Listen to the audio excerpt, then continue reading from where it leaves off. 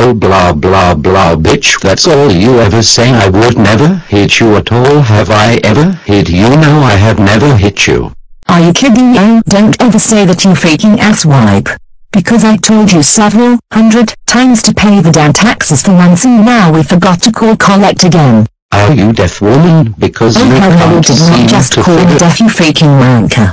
wanker wanker Yes I did maybe you're the one who's deaf because someone seems to keep forgetting to take Kimberly to soccer practice damn it. All I ever wanted to do is love you and care for Kimberly and have a happy life but sometimes you make something so simple so difficult. How is that even so possible?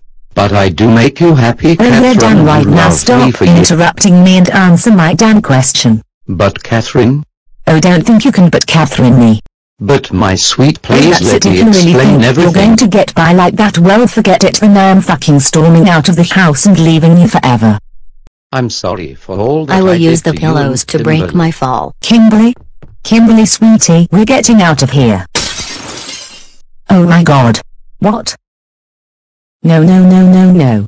Oh my god no. Kimberly no no oh my god no. Oh my god I need the constables. Oh my dear Kimberly. Watch where you're going you freaking asshole. My life is falling apart. I'm freaking done. Catherine what?